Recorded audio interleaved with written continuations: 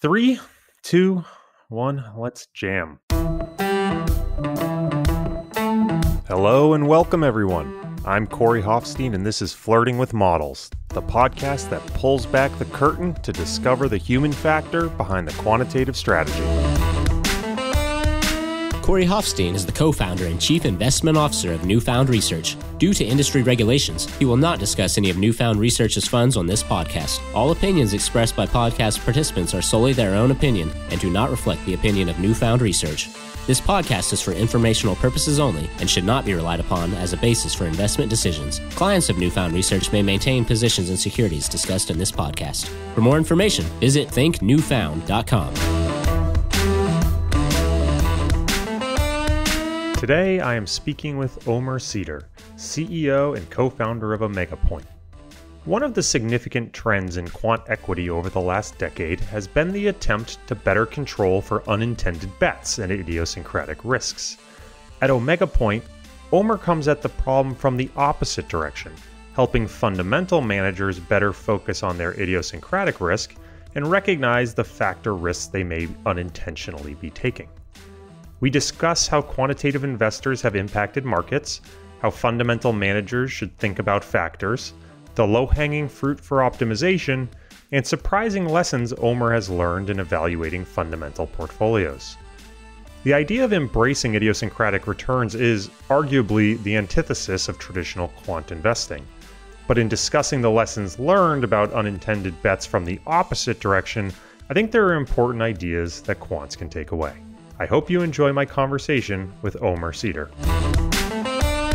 Omer Cedar, really excited to have you here for maybe a little bit of a different perspective what we normally get on the podcast. I tend to be super quant focused. You're going to bring a little bit of a fundamental mix into this and how quant and fundamental maybe can be baked together. So, really excited to have this conversation today. Where I was hoping to start was maybe get a quick introduction from you to our guests, a bit of your background, and a high level overview of what you do at Omega Point. Well, thank you so much, Corey. Thank you for having me. This is a fantastic opportunity to share something that I'm a little bit passionate about and has taken me on a journey for the last seven years and even started before that. So, a little bit of background on myself. My name is Omer Cedar. I founded a company called OmegaPoint. But prior to that, I was actually at a systematic multi-strategy fund called Two Sigma Investments. I joined Two Sigma when they were a small loft in Soho and really was sort of the origin of a lot of the systematic quant world began as we know it at Two Sigma, at D. Shaw, and a few of the other well-known sort of funds. But at Two Sigma, there was some interesting changes that were occurring in this was around 2005 to 2008. They really wanted to pursue the area of combining or thinking about how to combine traditional fundamental investing with quant. And that was gave birth to sort of an area called the Alpha Capture program at Two Sigma. And my background, I actually had come from grad school into Two Sigma, where I had done some work more on the fundamental and the business side, combining that with sort of quantitative finance. And they really liked that I had sort of that background. So they said, you know, why don't you give it a shot? And really on the back of a napkin, we designed an idea around how to take ideas from fundamental analysts, portfolio managers. I mean,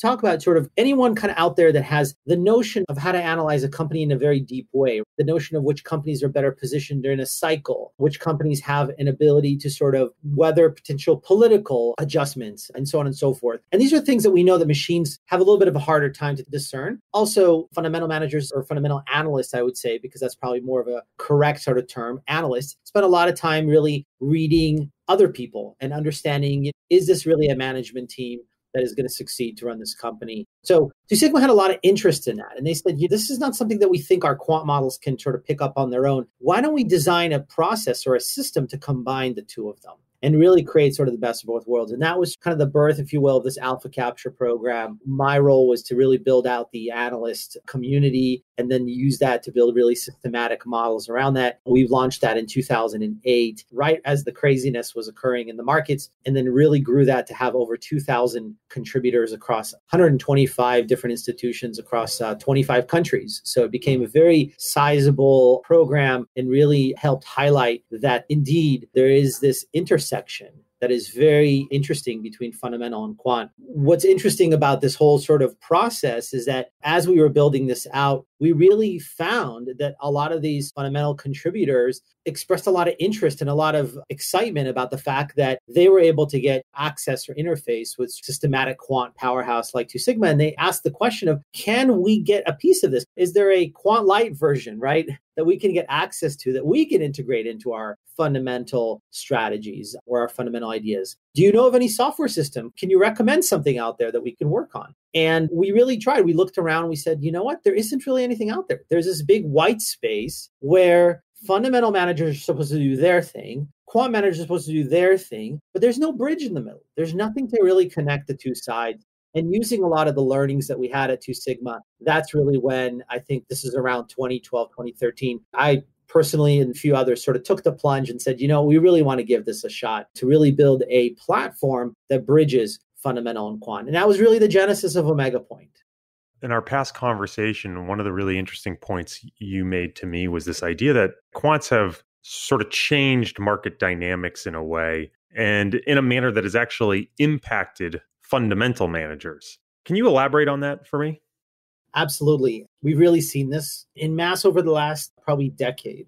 In 2007, when I'm sure the quants remember the quant quake of 2007, and certainly Two Sigma was in the heart of it, and it was a really important period of time for a lot of quant survival, fundamental managers didn't even feel it. I mean, there was some turbulence in the markets, but it was still very much of a blip on the radar compared to what was going on afterwards in the next 12 to 18 months, right, in 08 and 09 when quants actually had some of their best years because of market volatility. So, what's interesting about that is that quants were still a very small component of the volume that was being sort of produced in the marketplace. And over the last 10 years, probably with the emergence of not just traditional, I would say, quant investing, but also smart beta, pension funds, sovereign wealth funds. Think about all of these larger institutions who are trying to get access to low cost passive strategies really started investing in the idea that systematic rules based approaches could really deliver value for them. And that combined with traditional quant really created a tremendous increase in sort of volumes in the marketplace that changed really the dynamic of how the markets function really today versus where they were 10 years ago. There's obviously a lot of statistics out there that quants are what one tenth of the AUM globally, but nine tenths or longer, bigger than nine tenths of the volume of the trading globally. So when you have one tenth of the AUM representing 90% plus of the volume, you really start seeing a very different dynamic. And that's created essentially a lot of what we would call headwinds or turbulent sort of markets for the fundamental managers who historically have built their strategies and their businesses on the basis of deep fundamental research with the understanding that if they deploy that fundamental sort of ideas into the marketplace, then the market will behave in a particular way. It will absorb those ideas. And as their ideas, their predictions essentially of improved fundamentals or deteriorating fundamentals, however you want to look at that, will take in place, you will actually see the stocks react appropriately. And that hasn't happened. You know, I could tell you countless managers that have expressed their dismay at how that's changed since they started investing a decade or two ago. So for years, we've heard terms like quantamental and funditative start to emerge. Firms certainly still seem, for the most part, to fall on one end of the spectrum or another. But why do you think that the idea of mixing quantitative and fundamental is so important going forward? It's a great question because ultimately there's some very interesting behaviors, and we want to kind of maybe pull this a little bit apart, right? We're scientists, we're sort of as quants, we really want to understand what are the drivers of fundamental research and fundamental sort of analysis that is still very much important and active today, and what are the drivers of the quantitative approach that really makes it obviously strong and persistent and robust and complements the fundamental side. And ultimately, there's been again, I, I, see it as sort of a question really where fundamental managers have built their careers on the basis of very deep, sort of Benjamin Graham, Warren Buffett style research. They identify companies or industries that are going through dislocations or changes. They look at business models. They analyze management teams. And ultimately, all of these things are dynamic and they change because people like us, right? I mean, management teams, CEOs, boards of directors make individual human like decisions. If we had machines running those companies, the outcomes might be a lot different. But you have essentially companies in the world that are being run by individuals that are making certain decisions. And then you have analysts on the other side of the equation that are investing in those companies based on a very similar sort of an idea, framework of what makes a good business, what makes a not such a good business. And that intuition is very human. It's very oriented towards people actually investing in other people. Very similar to the idea of the venture capital industry. And so while we can take a lot of those ideas and make them quantitative in nature and maybe build uh, strategies that will try to emulate that type of behavior, what we find is that deep fundamental research still exists and still really adds a lot of value and a lot of alpha because it's human in nature. And it is really people investing in other people. That approach, and we've seen again at Two Sigma and repeatedly again and again, still creates a very long term source of alpha most quant strategies we know are tend to be shorter horizon. We're picking up on patterns in the market between a week, two weeks, maybe four weeks in length, and maybe sometimes longer, but really there's a sweet spot there. The fundamental ideas are really much more longer term. They tend to be more persistent and they tend to really trend over long periods of time. And so you have this approach where you can actually capture a much longer and robust source of alpha with a lot less sort of degradation. The challenge with that source of alpha is that it's sort of impure. It's sort of mining for that diamond, and you really have to kind of clear it out, polish it, really get the rough out, and really find that diamond in it because there's a lot of impurities in the way that it's being expressed today in the marketplace. And ultimately, that's really where the machines come in. That's really where quantitative investing, driven by good systematic principles, robust risk management, can take those ideas that are sort of diamonds in the rough and really put them into a framework where they can succeed and be managed in a way that they'll actually preserve the right kind of outcomes or create, if you will, the right kind of outcomes for the investors. So let's maybe talk about that framework for a bit. I always have sort of felt like the cliche fundamental manager playbook always has that upside down pyramid, right? Where you're screening the stocks down into the end portfolio. And I always said, well, if you have a set of rules by which you do that, that's just a systematic portfolio. And so it always felt like at the end of the day, the big difference between systematic and discretionary was maybe systematic chose to manage risk by just having more diversification, and discretionary chose to manage risk by doing deeper fundamental dives into a more concentrated portfolio. But to me, those concepts seem a little bit at odds. It's like where one mm-hmm. stops and the other one sort of begins. So, how do you think about marrying these concepts together?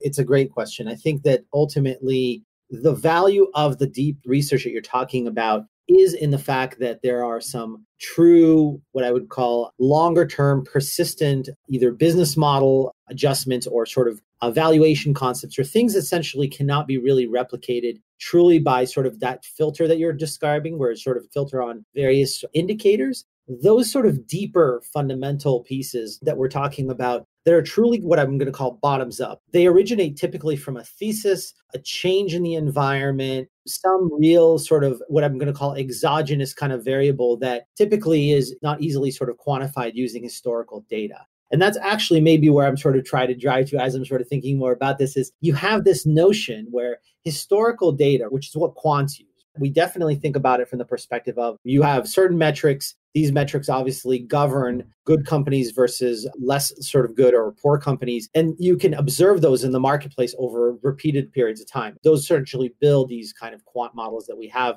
in many cases. On the fundamental side, it tends to come a lot more from something that is defying history. It doesn't actually have the same historical data concept. It's a new change. It's a political environment, or maybe where we are right now with COVID. How is that going to change? A lot of these things, the models themselves are not going to be able to make those predictions because those events have not happened before. You don't have the historical data and you don't have the statistical robustness. So I think where the real true intersection is when the fundamental ideas are essentially running contrarian in some ways to the traditional sort of quantitative framework that has been designed to sort of capture repeated behavior. And if you can capture those ideas, essentially across a large scale of analysts, right? So we're not just talking about, I mean, most fundamental managers are going to create a portfolio of 20 or 30 names. If you can create a larger group that you're working with, and they're all coming out with these sort of unique ideas, then you actually can create that very diversified portfolio that we're talking about, where you're screening out a larger number of stocks. You're just doing it based on bottoms up fundamental combined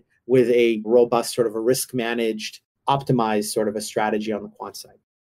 So maybe we can ground this in an example, this sort of theory of combining quantitative and fundamental together. The Omega Point platform that you make available to discretionary fundamental managers to give them sort of insight, perhaps, into the quantitative impacts that they're seeing in their portfolio. What does that look like? How does that play out for a fundamental manager who takes their portfolio and plugs it in? What are they seeing? What are they looking for? What are you ultimately trying to educate them on to help them either enhance returns or manage risk? That's a great question. In terms of how we think about these sort of fundamental manager ideas, essentially, these are collections of ideas that they have. We recognize that sometimes you don't have the power of diversification associated with those ideas. But what we can do is help them improve their overall sort of performance sort of in omega point right and their ability to sort of deploy capital in the market through a set of quantitative techniques or overlays if you will that can help them sort of make those adjustments. So for example let's say i am a fundamental manager with 20 or 30 securities and i have a fairly concentrated portfolio it's bottoms up done a lot of deep analysis and i'd like to deploy capital into those names there's sort of two questions that I'm starting to answer when I'm trying to sort of deploy capital. First of all, how do I size those names? How do I position and actually create the appropriate weights in those names? And secondly, how do I make sure that the risks that I'm trying to capture in those individual sort of ideas are the actual risks that I'm going to be invested in and not something else. For example, if I'm going to have a view on Apple's iPhone sales in the next month or the next quarter, how do I know I'm not buying into China or buying into the semiconductor industry? And those bets could magnify my bet on actual Apple's iPhones. So that's really where factor analysis, and as with quants, we understand sort of factor risk models and risks out there that can capture a lot of those bigger type of drivers can help us essentially isolate what we call the idiosyncratic, the alpha in the manager's ideas. And so I can take those sort of 30 ideas that the manager have and I can actually cut them into how much idiosyncratic alpha there is and how much of the other factor risks that you may have, i.e., you're making a bet on the semiconductor industry. You're really just making a China bet if you're going to just invest in this alone. And we can, you know, quantitatively really strip out these by either weighting towards the names that have higher idiosyncratic risk away from the ones that factor risk, or create what we call overlays, essentially customized hedge baskets or ETF type of overlays that can reduce or target, pinpoint those exact risks and remove them. So the platform that Omega Point has created is essentially to take those fundamental ideas at their core, strip them down into their alpha, construct them in a way that can give you the maximum alpha and hedge out as much of that factor risk, those risks that the quants understand, so that the manager is left with the purest possible alpha driven portfolio that is based on their ideas. So, how is this different than a lot of the other industry standard optimizers that are available to fundamental investors, things like Barra or Axioma or Northfield? Yeah, I mean, I think that ultimately there's elements that all of these sort of optimization engines and factor models have that allow you to cook your own sort of stew, so to speak. One of the things that Omega Point has done is to really make a lot of that turnkey. So we actually are partnered today with Barra. We're partnered with Axioma. We're partnered with Wolfe Research, which is an interesting sort of a data, right? An alternative data and a factor model provider. And what we do with them is we essentially take their factor model, all their data, and we combine that obviously with our software, which has all of the attribution analysis, a lot of the quantitative tools to be able to identify the signals, to be able to strip out the alpha, as well as we have a sort of fully built in optimizer. All of that gets done sort of in a turnkey fashion so that the manager again, remember, this is a fundamental manager that doesn't have necessarily the background in quant. He doesn't understand optimization. He doesn't really understand how to put all these pieces together. They're essentially being done in a turnkey fashion for him. And ultimately, all they have to do is really provide their fundamental ideas. And the output is a portfolio that has the maximum number of alpha driven ideas in the portfolio and gives them really the insight into what decisions are being made by the computer. So, again, the notion that Barra Axioma or Northfield have those tools is great. What we found, and they have found too in the industry, is that quants will take those tools, will understand how to work with them, how to build a very effective strategy, but a fundamental manager will not. And the challenge is that really has created a gap in the marketplace for them. And that's really the gap that Omega Point is trying to fill. So, talking about factors for a second, depending upon your interpretation of the literature, the factor zoo is either just like a handful of definitions or it's hundreds of these different characteristics, which I have to imagine as you get to that far end of the spectrum is perhaps incredibly overwhelming to a fundamental manager. But perhaps maybe has a little bit more intuition. They understand those metrics from a balance sheet perspective or whatever it is. But as you think about translating factors into sort of actionable metrics for a fundamental manager to understand and think about how it impacts their portfolio, how do you sort of think about the factor zoo?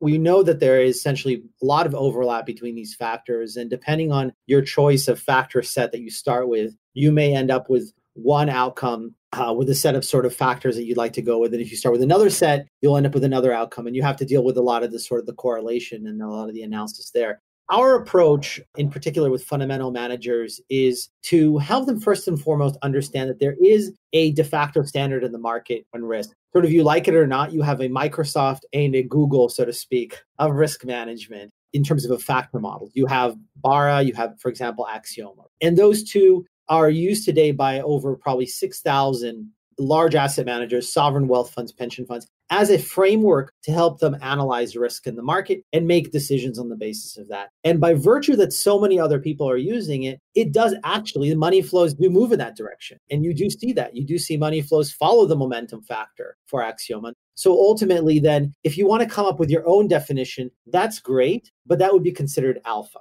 What you probably want to do is create a baseline of what you think is risk. And again, using these sort of de facto models, you have a starting point. And then it's really a question of what do you identify with in terms of your fundamental experience? And that's really where the factor zoo can be filtered heavily to the areas that you care about. So, for example, the factor zoo will have industry specific factors. It might have drilling rates that someone has sort of designed an, on oil and gas name. You might have R&D to sales might be a better metric when you're thinking about technology companies than if you're thinking about sort of banks. And if you're a TMT manager, again, you're a fundamental manager, usually tend to tilt more to some kind of an industry or some kind of a business model bias. You're going to identify a lot more with those fundamental metrics, as you mentioned, Corey. And those fundamental metrics then you can overlay on top of the traditional model. You have a baseline model like Barra or Axioma, could be considered to be more alpha or more identifiable with your type of a strategy. And you can use them in both helping you manage risk if you think that there's a lot of people piled into the same ideas, or you can use it as actually an exposure that you'd want to have more of, an alpha exposure that you want to have more of and you want to tilt your portfolio to. So let's say I am an active manager and I come to you with this pre baked book of 30 high conviction names and I sort of done the standard. I'm just going to equally weight my high conviction names a little more, my lower conviction names a little less. In your experience, even before you look at my book, having worked with so many fundamental managers and done this in the past, what would you expect the low hanging fruit to be for optimization, either from a return enhancing perspective or a mm-hmm. risk management perspective?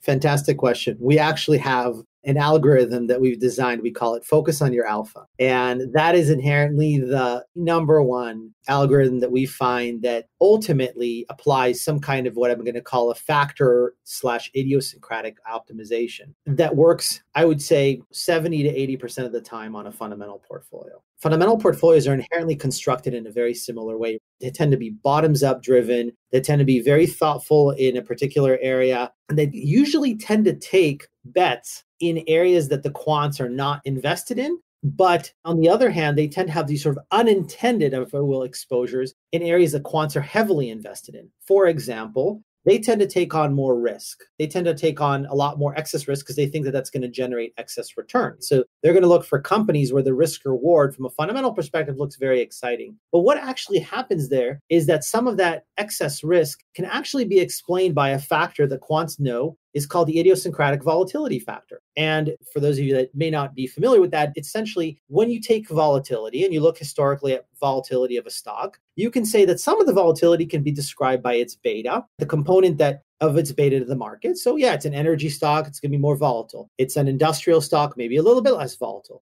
But then there's a component with the volatility that is not explained by its beta, and that is called idiosyncratic volatility. And interestingly enough, that volatility factor alone represents a lot of the issues that fundamental managers sort of run into because they're taking on this excess risk But that idiosyncratic volatility that you're not being compensated for is where quants tend to spend a lot of the time shorting. Most quantitative, especially sovereign wealth funds, pension funds, think of those sort of the guys out there who are always looking for a stable low vol portfolio are actually shorting or underweighting that factor in the market. And that creates a massive amount of flows. In fact, this is one of the most common factors that we've seen with a permanent alpha structure, a negative alpha structure, where essentially it's always returning negatively, where high vol stocks underperform low vol stocks. People have asked, when is that going to turn around? Well, when the sovereign wealth funds and pension funds decide that they want to invest in higher volatility names. But ultimately, until that happens, you end up with this juggernaut of volume that goes against the fundamental manager. So, this focus on your alpha strategy, kind of pulling that back to that, basically allows you to get rid of some of these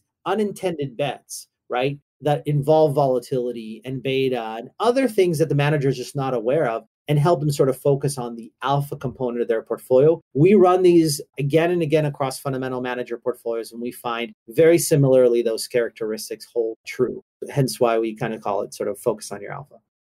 So, after evaluating such a large swath of different fundamental managers through your factor lens, have there been any surprising results that have emerged from this analysis?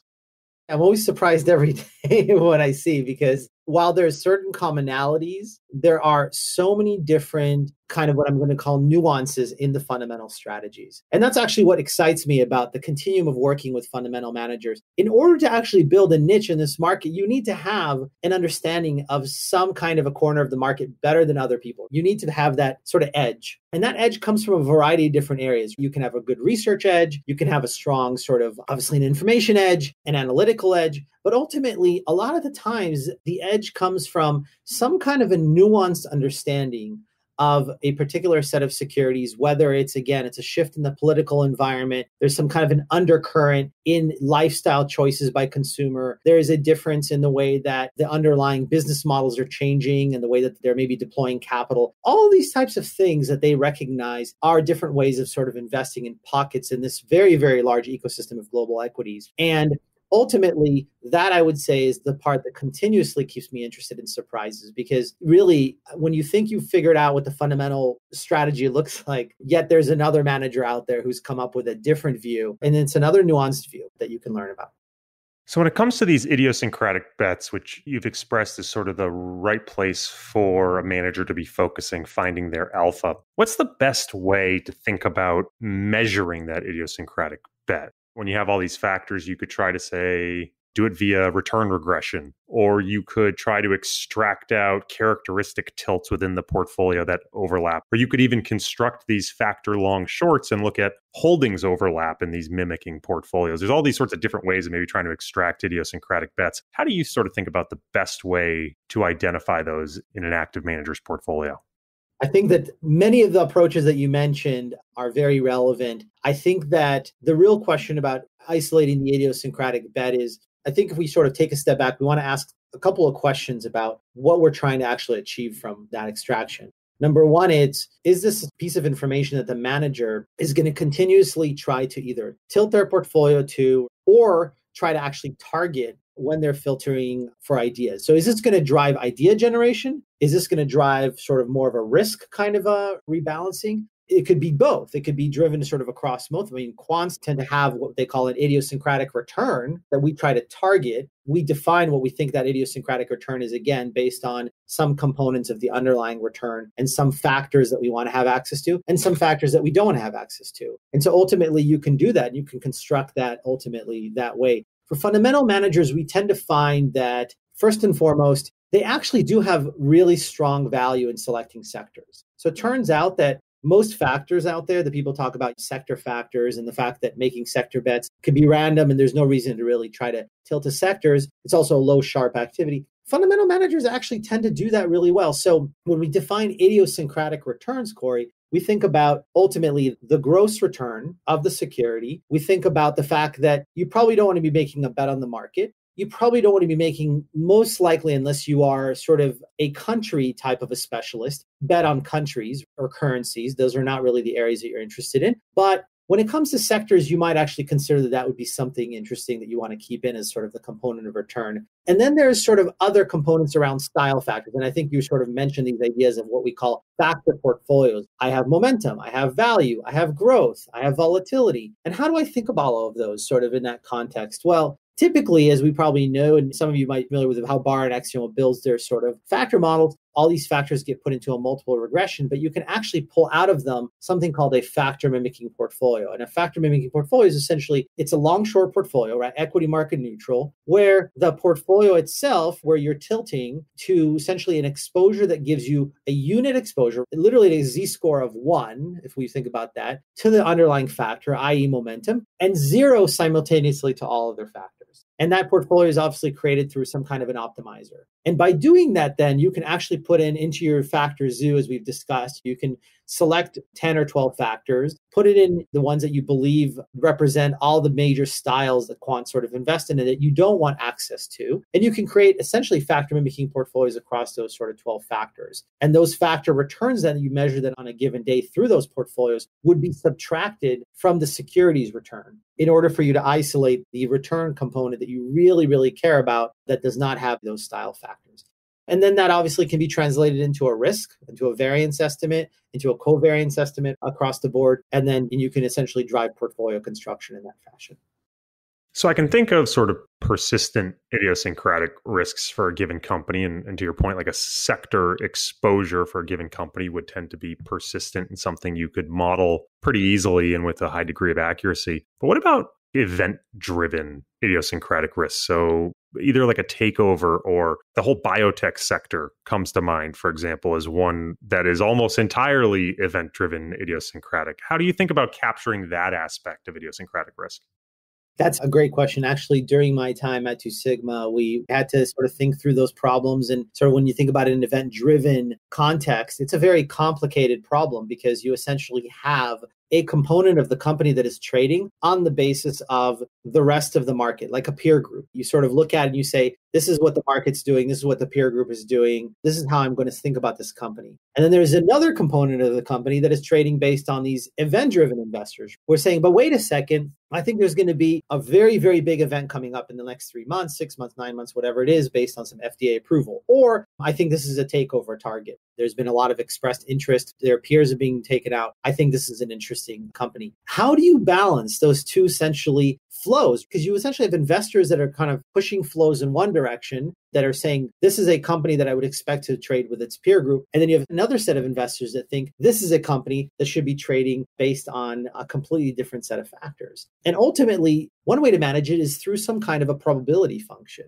There's a probability distribution between two states of the world. You have a state of the world where it's purely idiosyncratic and it's running in this sort of event driven binary analysis. And so you end up having much more of a tail risk function that you have to model. So it's sort of what's the upside, what's the downside. And then you've got a much more sort of a traditional, what I would call normal distribution, where this is really where the factors come in. You have essentially a z score distribution, and you assume that its returns and the way that it sort of behave is going to look a lot like its peer group. And the law of large numbers will hold there. Now, ultimately, this is kind of where some of the art and the science comes in.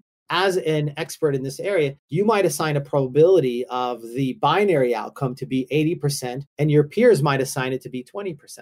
But ultimately, that's kind of where I don't believe there has been consensus in the market about how to sort of charge a normal probability associated with it. Certainly, you can try to sample it based on the returns and see how much of the returns historically, the realized returns, have been idiosyncratic versus being sort of more factor driven. But ultimately, the idea there is that that's kind of what you need to do is you need to come into the world thinking, I've got two models here. One is binary, one is much more normalized, and I need to come up with a probability distribution between the two of them. So, one of the conversations I've been having a lot recently with folks is the idea of like the difference between themes, factors, how you can get these thematic factors that emerge. The sort of example that keeps coming up is the COVID 19 factor, which seems to sort of have an overlap with quality junk with a focus on strong balance sheets and companies that aren't as levered as others, but also seems to have this technology bits versus physical aspect to it. And the question that keeps coming up is well, is this a theme? Is it a factor? And to you, I would ask if a fundamental manager wants to take a bet either on uh, one side or the other of this factor, you know, to you, is that something that's a factor? Is it idiosyncratic or is it entirely something different? That's a great question because there's actually a continuum in my mind here of this sort of trend or early emergence of a trend is typically picked up by fundamental managers. They typically understand that there is something sort of changing in the marketplace that is taking place that has not happened in the past. This sort of COVID 19 experience fundamental managers were picking up on this obviously in the January and February timeframe and we're starting to sort of either position their portfolios or find identifying candidates to sort of companies that would be exposed positively or negatively to this sort of this effect. Now, initially, that doesn't feel much like a factor because you have a lot of idiosyncratic movements in the securities that are sort of representing managers' beliefs that certain companies are better positioned to this sort of exogenous, if you will, trend that's happening that might be sort of ephemeral. It might go away in a month or two. But over time, if this becomes more persistent and people are starting to realize that this sort of trend is there to stay and it becomes much more of a thematic type of a trend that people look at, then I would say that all of a sudden quants can start capturing that a lot more in the form of a factor. And why? Because all of a sudden there's a lot more sort of alignment between many securities that are starting to behave alongside this type of a factor. So when positive COVID news comes out, when things are getting better, certain companies rally. When negative COVID news comes out, things people think are getting worse, certain companies rally. And if you can tie those sort of type of movements to a set of companies, a large enough set of companies, we're talking 500 to 1,000 companies out there, then I think you can actually construct essentially a factor portfolio from that. And that's obviously when we've seen the Delta One desks. The sell side will get into it by creating their own factor portfolios to try to represent the companies to allow you to sort of play, if you will, the theme or the strategy behind that. And that's really when the fundamental manager's job becomes a little bit more complicated because now they've identified all these names that are positively or negatively exposed, but they want to make sure that they still retain the idiosyncratic nature of their bets and that they're not getting swung around by the COVID 19 or whatever that thematic factor that's now being invested by retail investors and by, you know, sovereign wealth funds and by quant funds. And ultimately, what they need to do, I mean, talking about the factor zoos, take that COVID 19 factor, a factor portfolio, and essentially overlay it on top of their portfolio and see if the bets that they're making in their names are highly correlated or highly exposed to that COVID 19 factor portfolio. And if it is, then now they understand that a lot of the added value that they're providing has already been baked into the market. A lot of it is already there. Then they really need to either tilt their portfolio in a different direction or potentially exit their ideas altogether. We spent quite a bit of time talking about maybe how fundamental managers can exploit or utilize the lessons that quantitative managers have learned over time. But is there a lesson that quantitative managers can be learning here in, in, ways that they can better be building their book, things that they could learn from fundamental managers? Quantitative managers are always studying investor behavior. I mean, this is one of the most core scientific principles behind quants, right? Is to study how investors behave and to understand whether the new investor behavior is sort of a change to the environment or something completely different. Is this just a new form of value that people are looking at, or is this really truly a new trend? And I think actually one of the areas that quants can sort of learn from fundamental managers is how they study the business models and how they kind of understand the, the changes in the drivers in the economy. Zero rate environment. We're sitting right now with a very strange sort of a environment where people are obviously working from home and are sort of doing almost everything online. And it's creating a change obviously in lifestyles change in consumer behavior all of those things are things that fundamental managers are actually analyzing and ultimately how we quants are we sort of going to learn from that and be able to invest in those sort of types of trends? Well, ultimately, what we want to see are maybe companies that are taking sort of certain leadership positions in this sort of new market environment that are highly idiosyncratic, that are not being explained by a lot of the factors. And then we want to be able to try to tie them together because there's ultimately what we call as quants X factor correlation between those companies. There's a chance that those idiosyncratic behaviors that we see that we chalk to just idio return are actually an actual factor. There is actually something out there that's happening and that's changing. One example I would say that's even more broad based than just COVID 19 is value. Everyone knows value hasn't really worked. But why hasn't it really worked? Value hasn't worked in many cases because the business models of companies that expose value are different today than they were 10, 15 years ago. And if you look at the top companies in value today, you look at top companies in growth today, and you start looking at their business models, you understand that honestly, there's a lot more robustness in the growth based business model than there is in the value based business model. And that wasn't the same. There was a lot more of a commonality between value and growth in terms of the business model. It just happened to be more around valuation again pre 2008 so what i would say is is that these are the kind of things that fundamental managers publish about they study they write about. And as quants what we're trying to really understand is is there a big change in behavior? Is there a real change in the community of investors and how they're looking at securities how they're analyzing companies? And if that's the case then we really are looking for a new factor to describe that new environment so, where is all this going in your mind? We've seen a huge upswing in the adoption of quantitative and sort of quant light strategies. A lot of firms throwing in the towel on traditional active management and buying smart beta, sort of low cost, structured quant type products. We've also seen traditional discretionary long short managers seem to have really struggled over the last decade. When you look out over the next five to seven years, what do you think the investment landscape is going to look like?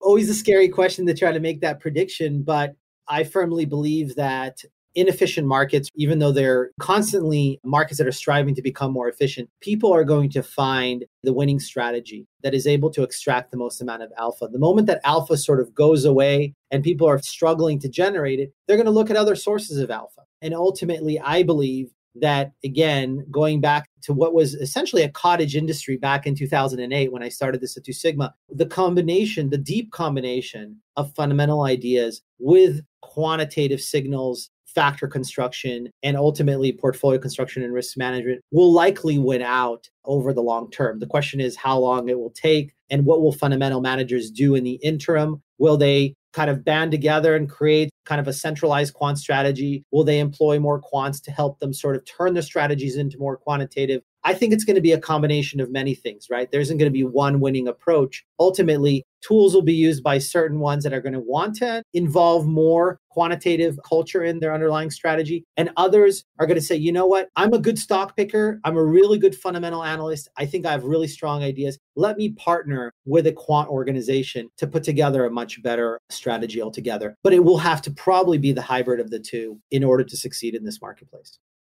So, last question for you. 2020 has been a bit of a strange year and continues to be a strange year for a lot of people. Perhaps not uh, the happy and uplifting year we were all hoping it would be at the turn. But looking forward, what are you excited about? Either personally or professionally, what are you looking forward to?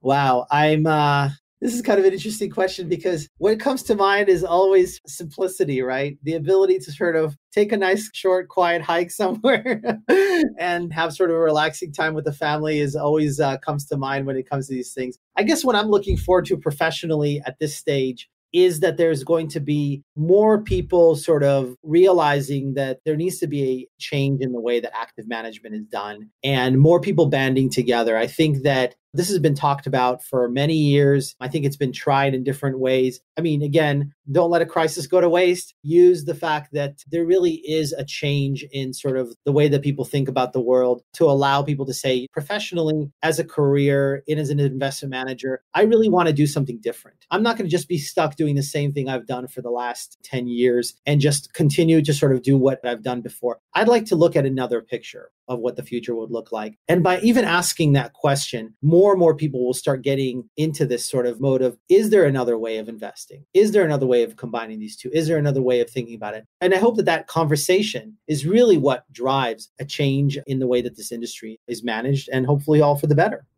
Omer Cedar, a fascinating conversation of definitely a very different perspective. I can't thank you enough for joining me. Absolutely, Corey. Thank you so much for your time.